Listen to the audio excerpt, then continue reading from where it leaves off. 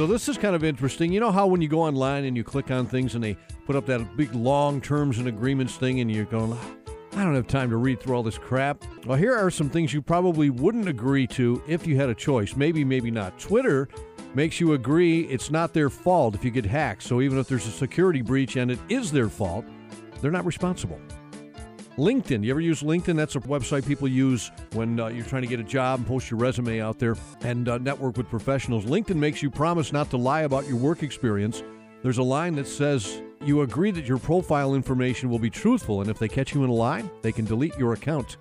Instagram, if you use that, they make you agree not to stalk anyone. One section says uh, you can't stalk, bully, abuse, harass, threaten, impersonate, or intimidate people.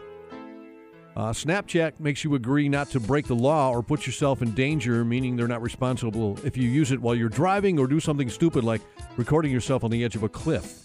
And finally, Facebook, which is probably the one that most of us would use the most. Facebook owns everything you post. There's a section that uh, says you grant them a worldwide license to use any IP content that you post, which basically means that uh, they can use your stuff for promotional material and share it with companies. They own you. So watch what you're clicking on with terms and agreements.